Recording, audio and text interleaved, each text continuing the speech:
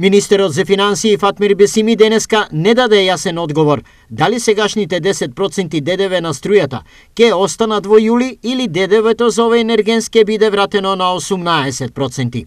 Како што и претходно сме спомнале, ќе продолжи, значи владата има предвидено 225 милиони евра и оваа година за антикризни мерки, а тоа значи некаде околу 1,5% од бруто домашниот производ и зависно од потребите и така ќе интервенираме. Значи нема да се пролонгира 10% него?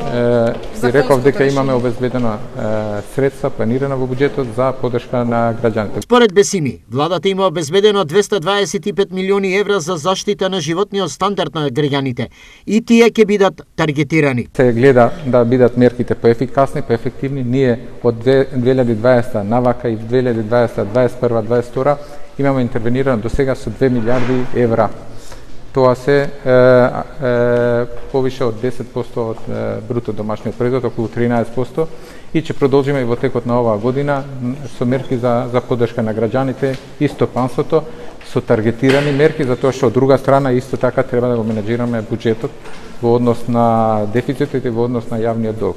А при тоа граѓаните, посебно тие каде што се по е, ефектуирани, е, со одредени мерки да се излезе во пресед. За разлика од Бесими, председателот на Регулаторната комисија за енергетика Марко Бислимовски е со следното размислување. Враќање на ДДВ-то на 18% може да се направи и од 1 јануари, но сепак последен збор има владата и Министерството за финансии, каде се прават калкулациите за сумите кои се прибираат преку овој данок и се директно поврзани со субвенциите во енергетскиот сектор. Изјави Бислимовски.